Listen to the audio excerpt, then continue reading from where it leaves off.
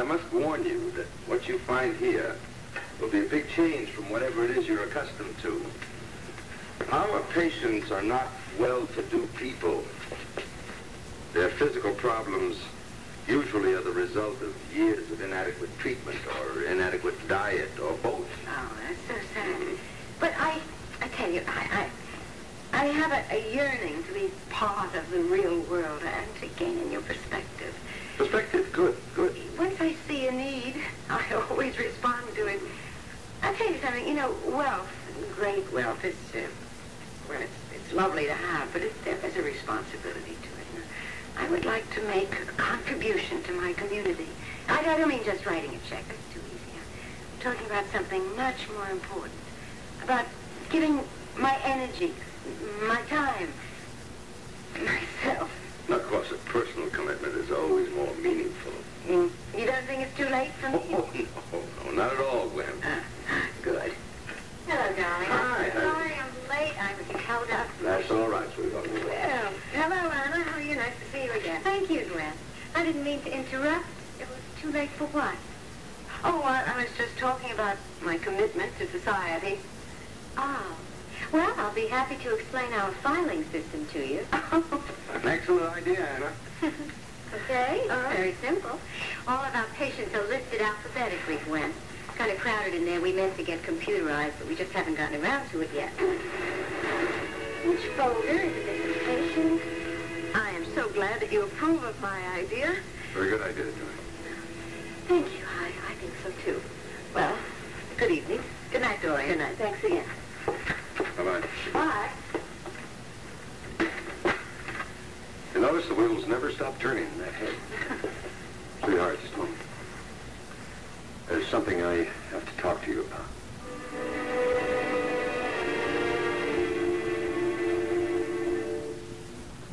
Edwina, this is very sweet of you to bring me a New Year's gift. I don't believe it. Mickey Mantle, Phil Rizzuto, and Yogi Berra. Where on earth did you get all these old cards? You know where these cards come from. They come with the bubble gum that I was always bugging you to buy me. And and you, you kept them all these years? No, no. I, I went through a phase where I threw out everything that reminded me of Cedar Falls, Iowa, and Ma and Pa Lewis.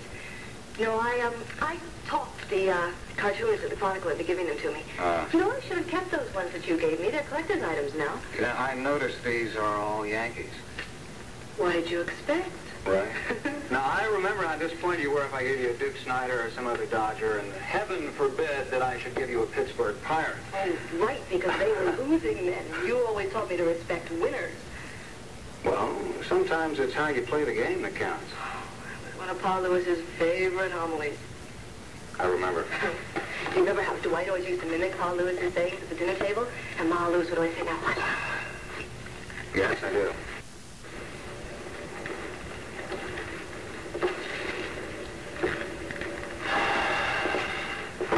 So, Edwina, I'm sorry. I, I just don't feel like reminiscing this evening. But I promise you I am keeping your job application in mind.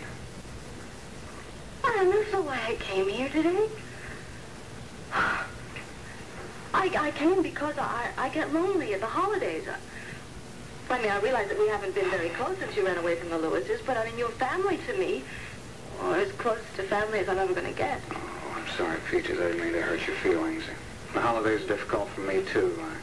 I, I just try to push away anything that smacks of sentimentality. Yeah, I understand that. Thanks. Adam, do you ever wonder who your real parents were, and if they're still alive? Yeah, of course I do, but it doesn't do any good to wonder. We'll never know, will we? No, I guess not. I want to tell you, you know, you really did make a big difference in my life. I'm just sorry you didn't hang around longer. Pat. Hello, Adam. Hello, Pat.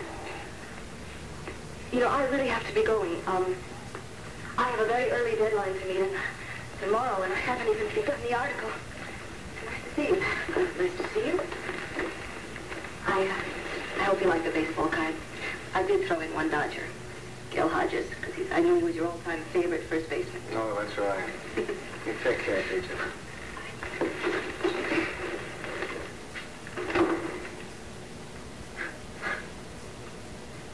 You're surprised I'm here. Yes, I am. To tell you the truth, I'm kind of surprised myself. And I am very happy to see you. I'm glad.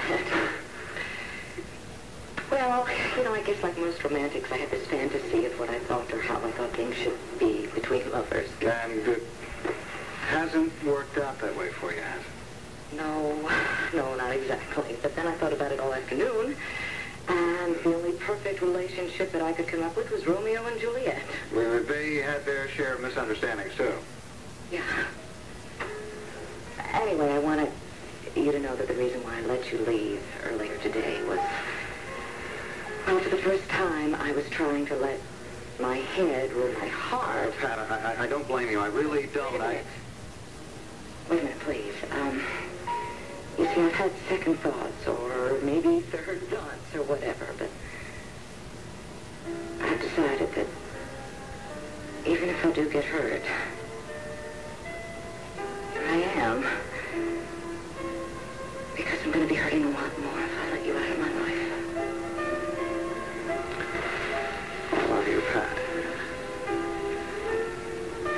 I've never said that to any woman before. Well, I, I want to be everything in the world to you. And I'm going to accept what we have together. Because all we do have is a lot more than most.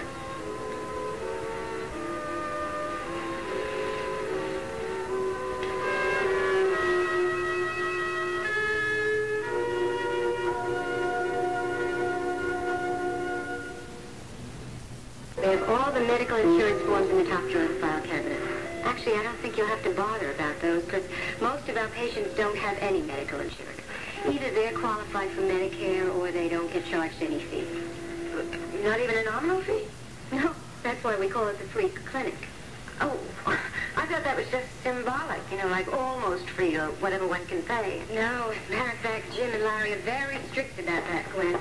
No patient is to be pressured into payment. How extraordinary. Um, there is one thing I have to ask. Um, who does your hair?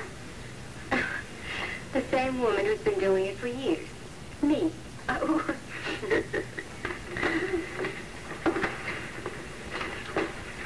Now remember, Mrs. Goldstein, even when you're sure that the pain is going away, I want you to go on with the medication twice a day. We've got to get rid of that infection.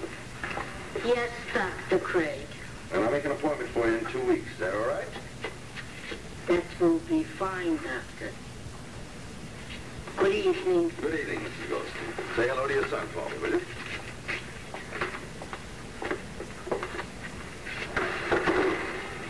Last patient. Suppose we knock off now. huh? Oh, that's fine with me. That's fine. Oh, Jim, I don't remember whether I defrosted the roast or not. Oh, after all the time you've taken with me, I can't let you slave over dinner. That's all right. If the roast isn't there, we'll have leftover chicken, won't we? As always, of course. I would love you to be my guest at Tony's tonight. Please, it would be my pleasure. Oh, uh, Gwen, really, thank you very much. But no, I, we were kind of planning on spending a quiet evening at home. Oh, won't you be my guest at dinner? It would, it would really be my pleasure. Gwen, I really I'm not dressed to go out to dinner. Oh, well, whatever you wear is always very chic. And besides, it would give, give us a chance to talk about my contribution to the Free Clinic Foundation. I didn't know you were thinking of making one. Of course I am. We just never had time to talk about it, that's all. Won't you reconsider? all right, Gwen. Good. After all, philanthropy has always been a part of the, the law of tradition. Don't think it was always very...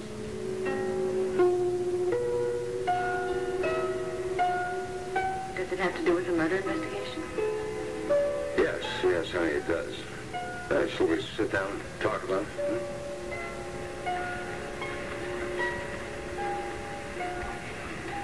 Joe, I accepted responsibility for Tina willingly, and I can also accept the consequences. What on earth is the matter with you?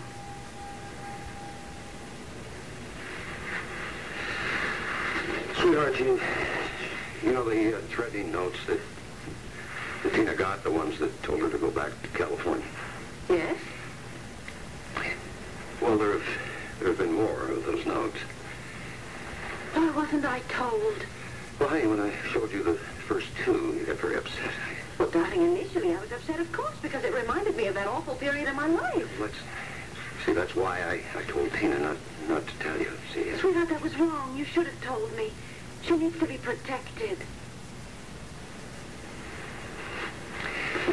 Viki, honey, this is going to be extremely painful for you. But we're going to make it through this, you know. Trust me. But most of all, you must have faith in yourself. One of the notes that Tina got recently was was signed in. The last note she got was signed Nick. Honey, there have been other signs Niki Smith has returned.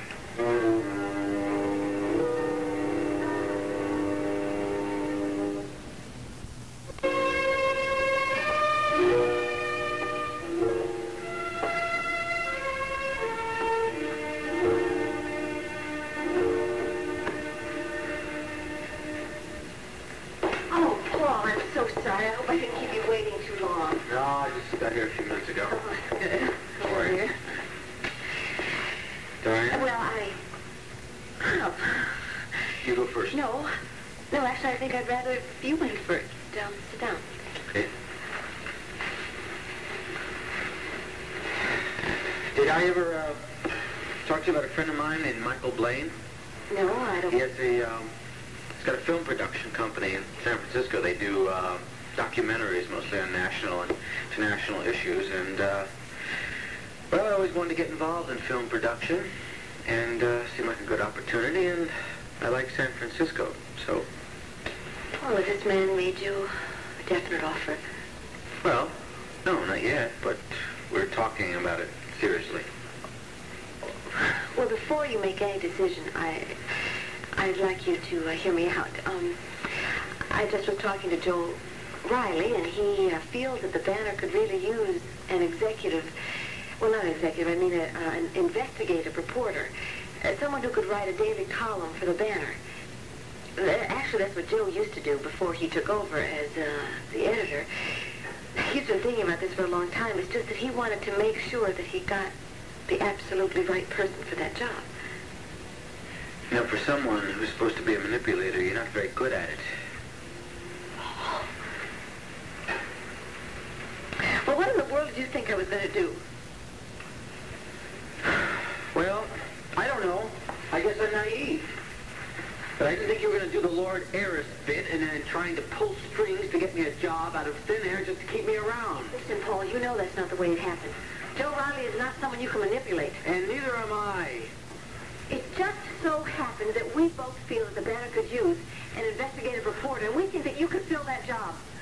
Tell me, Paul, are you turning down the job just because it comes from me? Dorian, look. Look, I know your intentions are good, but Paul, do you think I was going to let you walk out of my life that easily? Without... I don't think you really know me very well. look, I know you have special feelings for me, and in many ways it's been it's been very good for me too. But how come you're talking about like it's in the past tense? Oh, I I didn't realize I was. Paul, is a new job the real reason you want to leave Land, Llanview? I mean, is it because of your career, or is it really just an excuse? Is it really just the easiest way to get rid of me?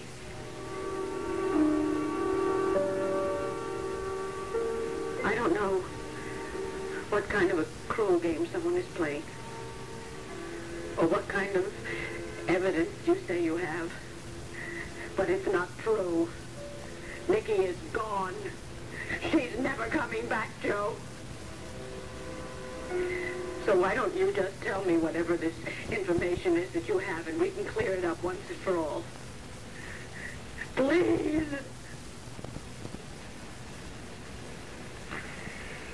Then got a telephone call from the phone company. Niki Smith used him as a credit reference. Go on. Vinny and I checked out Niki Smith's hotel room.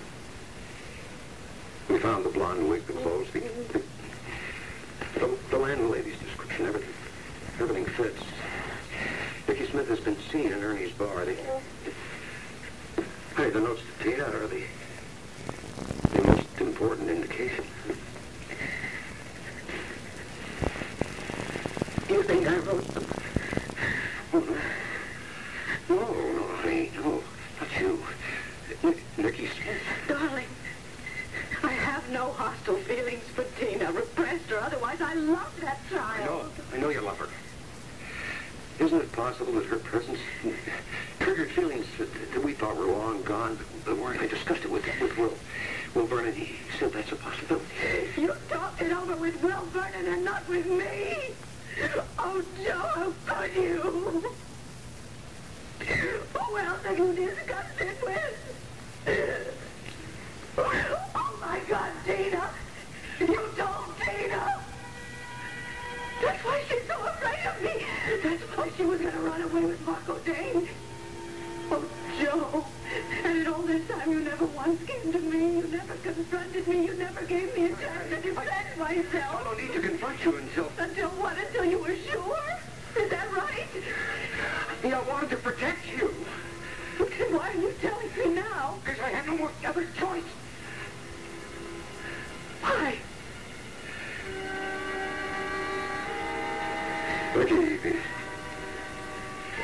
The police discovered that the murder weapon pawned. Pawned under the name of Niki Smith. The police think that Niki Smith murdered Marco Dane. Oh, no. Oh, no, Joe. Hmm. Oh, tell me this isn't...